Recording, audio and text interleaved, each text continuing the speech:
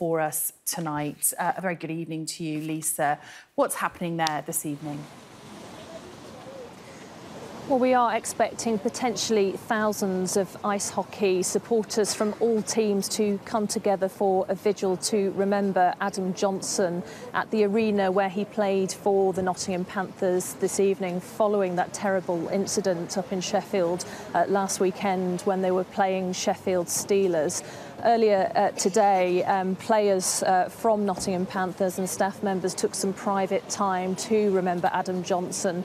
Uh, this evening, it will be for members of public uh, to be allowed onto the rink uh, to sign a book of condolence and also to take part in a minute silence to remember him. Now, a little while ago, I spoke to Adam Johnson's aunt, Carrie, over in America because he'd only recently come to the UK uh, to play ice hockey. He's from a big family of ice hockey players, and many of them were watching uh, the incident live um, as it unfolded. And she gave me her reaction to that, and she paid uh, tribute uh, to Adam and said she was so shocked that it happened uh, while he was in play and in an upright position.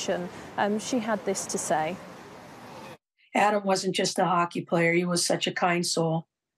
He, uh, he would do anything. People say that, but he literally would do anything for anybody. He, he, he and his brother were made of the same cloth. They're just kind, gentle souls that just cared about people and never ever would turn down a request from a little kid for a picture or a fan for an autograph or just to speak in front of people.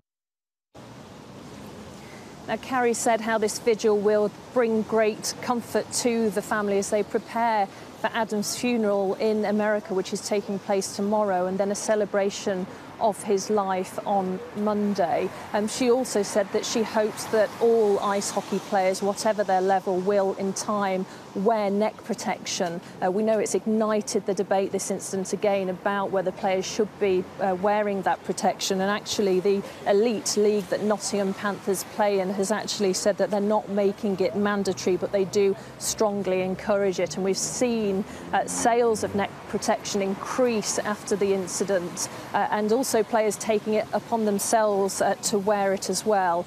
All the while, South Yorkshire Police is investigating Adam Johnson's death. They say it could take some time. They are reviewing the footage as to what happened and they're speaking to ice hockey experts as well. A truly tragic story. Uh, Lisa, we appreciate the update. Thank you so much.